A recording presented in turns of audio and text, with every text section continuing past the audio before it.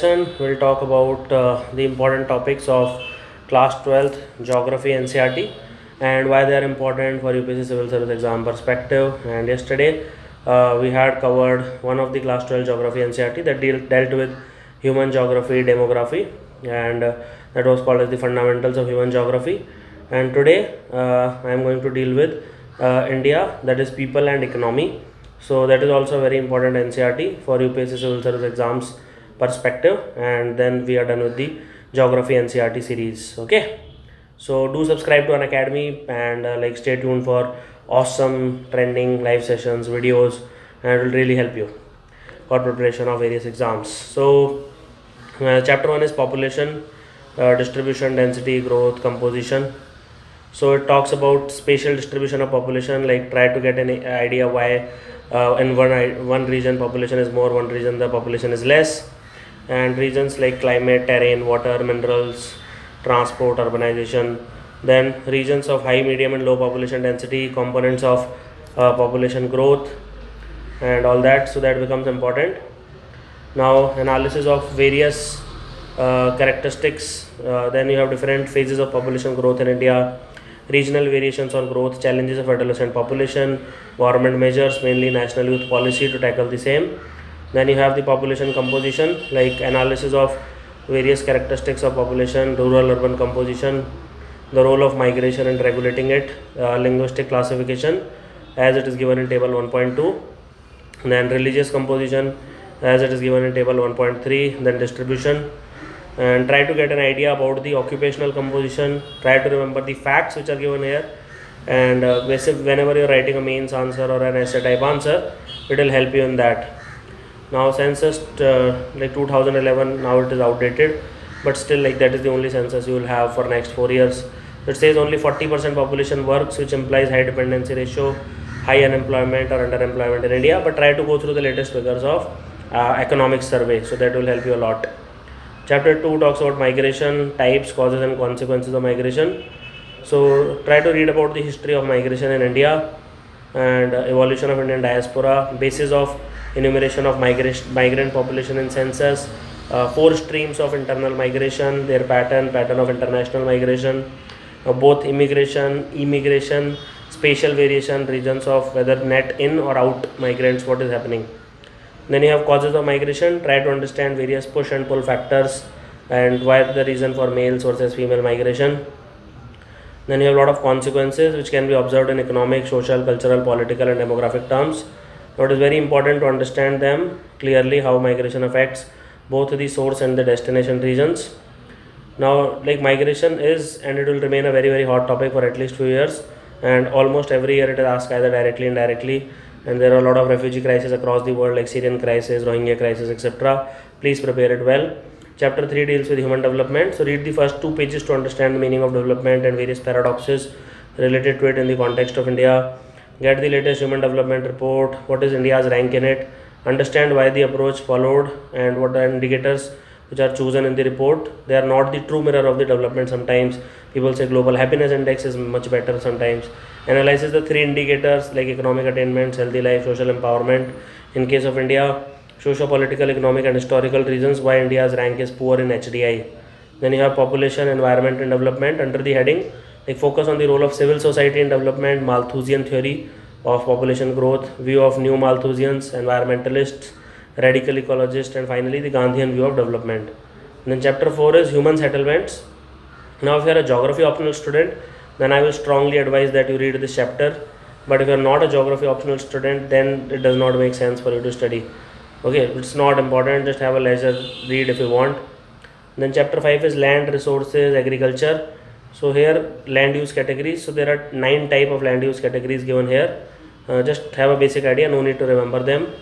Then land use changes in india. So this is very very important. So understand how the change in size and composition of the economy pressure on agricultural land has forced the land use pattern.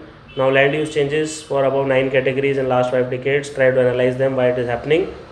Then you have common property resource cpr it's not cardiopulmonary resuscitation and cprs and their significance cropping intensity cropping seasons what are the major crops grown in them then you have various types of farming like irrigated farming rain fed farming Now, types of rain-fed farming include dryland versus wetland farming, crops which are suitable for cultivation. Then food grains, like next few pages will describe some important food grains. All of these are very very important. So you need to focus on climatic soil conditions which are required for their cultivation, uh, regions and states where they are grown, uh, top producing states, India's status in the world. Now practice all the maps which shows the distribution of these crops if you want to get some extra marks. So that will also help you.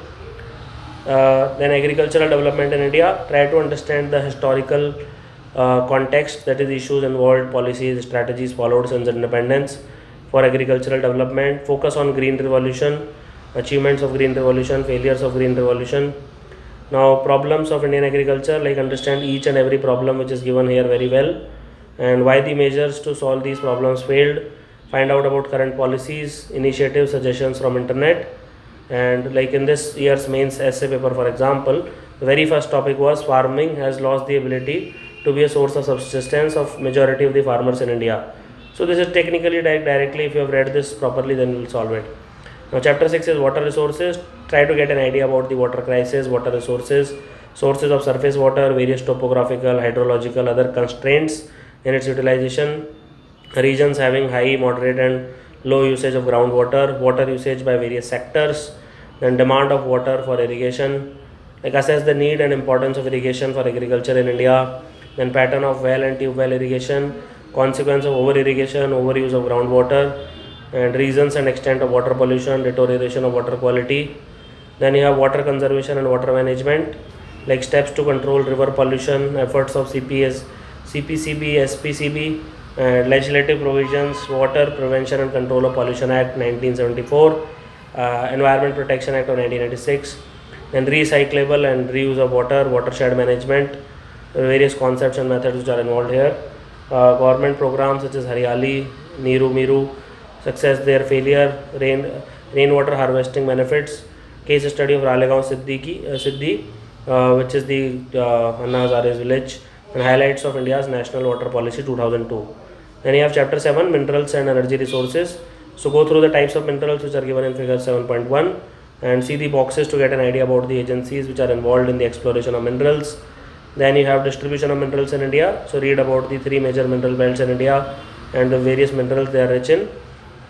So for example ferrous includes iron manganese here non ferrous copper bauxite non metallic mica तो focus on their characteristics usage states mines where they are found in abundance and for energy sources focus on the major coal belt of India mines like Gondwana mines tertiary and issues with coal mining oil producing regions location of refineries reserve of natural gas distribution of uranium thorium monazite deposits important nuclear plants mechanism of generation potential in India various advantages of solar, wind, tidal, geothermal, bioenergy, and understand the strategies for conservation of mineral resources.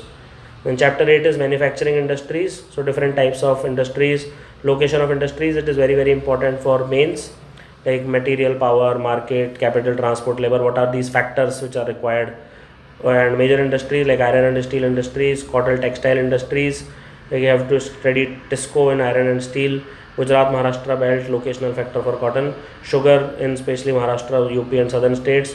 Then you have petrochemical industries, why they are concentrated in Maharashtra Gujarat belt then uh, knowledge about knowledge based industries uh, how come we have become software powerhouse of the world then objectives of new industrial policy lpg measures initiated and industrial regions in india try to memorize the eight major industrial regions as they show up in the map in figure 8.13 then you have chapter 9 which is planning and sustainable development in indian context so evolution of planning since independence planning commission various five year plans two approaches of planning sectoral planning regional planning regional imbalances, targeted area development. Now, under targeted area planning, there are various programs like hill area development program, drought prone area program. Many of them are no longer functioning also, but try to get the basic data and what are their objectives, components, strategy, etc. Then we have sustainable development, so evolution of the concept of development and how it is contrasted with growth. Limits to growth model, Brundtland report, our common sustainable future. Okay, uh, talks about sustainable development then you have meaning of the term sustainable development understand what all sustainable development involves you have to carefully read the case study of indira gandhi canal command area also and then chapter 10 is transport and communication so in this chapter uh, it becomes important sometimes they ask about infrastructure. So you have road transports facts about grand trunk road objectives and functions of national highways uh, basics of nhai its major projects. That is the golden quadrilateral north south and east west corridors and various functions of border road organization. Now when it comes to railways just read the basic information about railways. Uh, three gauges of the railway konkan railway various issues committees and solutions to develop railways it has to be studied on internet. Now waterways the advantages of waterways various issues in the development of waterways basic information about five national waterways which are listed in table 10.4 so try to go through that as well. Then leisure read the rest of the chapter not much importance is given here. Try to make certain uh, notes of the facts if you can which are mentioned here. Then you have chapter 11 which talks about international trade. So uh, this chapter must be studied along with its counterpart in the latest economic survey as the data and trends given here are almost a decade old so they are, will not help you try to read through economic survey google etc so here they talk about composition of commodities in india's international trade india's trade relation with various countries uh, major trading blocs of the world and direction of the trade where it is going finally like ASEAN, RCEP, all these becomes very very important. EU and all that. Then major ports of India, their hinterlands, major composition of cargo handled, significance, various issues in the development. And finally, you have chapter 12, which talks about the geographical perspective on selected issues and problems. So it talks about environmental pollution. So it is obviously whenever the word environment and pollution comes together, it definitely means something big is going to happen. So here it includes water pollution, like causes of it, like natural and human sources, understand how they pollute water, uh, various consequences of water pollution. then you have uh, no reading Hussain is not necessary. Then reasons and consequence of air pollution, smog, acid rain. So smog is basically like photochemical smog and different types of smog are there. Then you have acid rain, like they can ask you which acids are involved. Answer is H2SO4, HNO3, hydrochloric acid and uh, sorry, nitric acid and sulfuric acid. H2SO4 and HNO3. Then noise pollution, what are the main sources? Above what 80 decibels up to it is considered tolerable, above that it is definitely noise pollution. And what are the major reasons for it? Urban waste disposal, sources of solid waste, what are the consequences of their improper disposal? Read the case study of Dorala. Then rural urban migration, very very important concept. Okay, so push and pull factors, and there is a case study of Ramesh. Try to understand why the rural to urban migration happens and Dharavi is a slum in Mumbai, so they have included it as case study. And land degradation, regions of land degradation, various type of wastelands, case study of Jhabua, which is a tribal district in MP. Uh, watershed management was successful here in reclaiming degraded land, and it changed the economic landscape of the district. So I hope uh, we have covered all the geography NCERTs, whatever is important in them. So please try to watch all the videos where I am talking about uh, the important geography concepts. So thank you for watching this. Have an awesome day.